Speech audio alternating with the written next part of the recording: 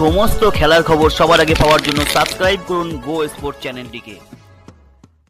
Kolkata night রাইডার্সের নতুন recruit করা প্লেয়ার ক্রিস গ্রিনকে তার ত্রুটিপূর্ণ বোলিং অ্যাকশনের জন্য তিন মাস সাসপেন্ড করেছে ক্রিকেট অস্ট্রেলিয়া। আবার এই অফ স্পিনারকে দীনেশ কার্তিকের দল তার বেস্ট প্রাইস কুড়ি লক্ষ টাকার বিনিময়ে আইপিএল দু হাজার কুড়ি নিলাম থেকে কিনে নিয়েছিল।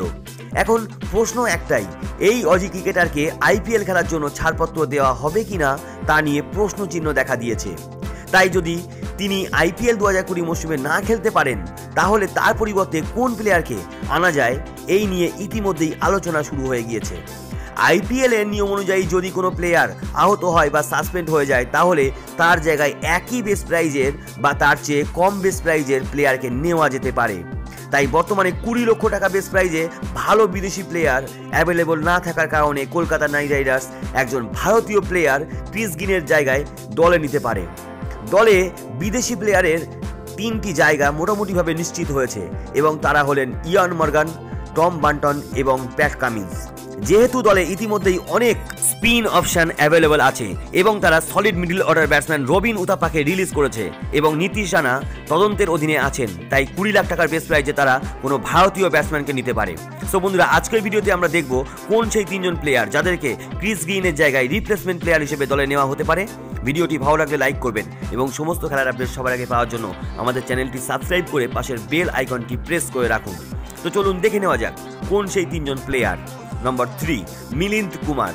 দু হাজার আঠেরো উনিশ রঞ্জি ট্রফি মরশুমে সিকিমের হয়ে সর্বাধিক এক হাজার তিনশো একত্রিশ রান করেছিলেন, যেটা ছিল তার প্রথম লাইমলাইটে আসা।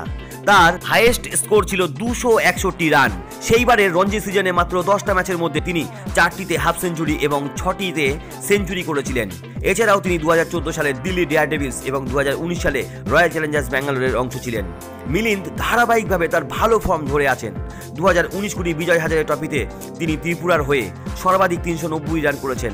তাই কলকাতা নাইট রাইডার্স তাকে নেওয়ার চেষ্টা করতে পারে। Number two Arun Karthik. এই উইকেট কিপার ব্যাটসম্যান তামিলনাড়ুর হয়ে ঘরোয়া সার্কিটে ছটি সিজন জুড়ে খেলে আসছেন। তিনি আইপিএল চেন্নাই সুপার কিংস ও রয়্যাল চ্যালেঞ্জার্স ব্যাঙ্গালোরের হয়ে খেলেছেন। তেত্রিশ বছর বয়সী এই প্লেয়ার দু হাজার আঠেরো টিএনপিএলে মোট চারশো বাহাত্তর রান করেছিলেন। স্ট্রাইক রেট ছিল একশো তিপ্পান্ন দশমিক সাত পাঁচ। তিনি তার সেই দারুণ ফর্ম এখনও কন্টিনিউ করে যাচ্ছেন। দু হাজার উনিশ টিএনপিএলেও তিনি মাত্র নটা ইনিংসে তিনশো ছাপ্পান্ন রান করে তৃতীয় সর্বোচ্চ রান সংগ্রহকারী হয়েছিলেন। সুতরাং কলকাতা নাইট রাইডার্স ম্যানেজমেন্ট তাকে ক্রিস গিনের জায়গায় রিপ্লেসমেন্ট প্লেয়ার হিসেবে দলে নিতে পারে। নম্বর ওয়ান, বাবা অপরাজিৎ। বাবা অপরাজিৎ এই দশকের একটা বড় অংশ জুড়ে ছিল। দু হাজার এগারো সালে তিনি প্রথম শ্রেণির ক্রিকেটে আত্মপ্রকাশ করেছিলেন এবং দু হাজার বারো সালে অনূর্ধ্ব উনিশ বিশ্বকাপ খেলেন, যেখানে তিনি ভারতের অন্যতম সেরা অলরাউন্ডার ছিলেন। অপরাজিৎ গত কয়েক বছর ধরে সব ফরম্যাট জুড়েই তামিলনাড়ুর অন্যতম প্রধান খেলোয়াড়। এই বছর ব্যাট এবং বল উভয়েই তিনি দুর্দান্ত ফর্মে ছিলেন। তিন নম্বর এবং চার নম্বরে পুরো টুর্নামেন্ট জুড়ে খুব সামঞ্জস্যপূর্ণভাবে খেলেছিলেন। পঁচিশ বছর বয়সী এই খেলোয়াড় ছেষট্টি দশমিক চার চার গড়ে মোট পাঁচশো আটানব্বই রান সংগ্রহ করেছিলেন। যার মধ্যে ছটি অর্ধশতক এবং একটি শতক রয়েছে। এছাড়াও তিনি বোলিংয়ে এগারোটি উইকেট নিয়েছিলেন। তাই Kolkata Knight Riders team management replacement player হিসেবে তাকে দলে নিতে পারে। সো বন্ধুরা, এই বিশেষ বিশেষ গুরুত্বপূর্ণ ভিডিওটি সকল বন্ধুদের মধ্যে শেয়ার করে তাদেরকেও জানার সুযোগ করে দিন। সঙ্গে থাকার জন্য অনেক অনেক ধন্যবাদ।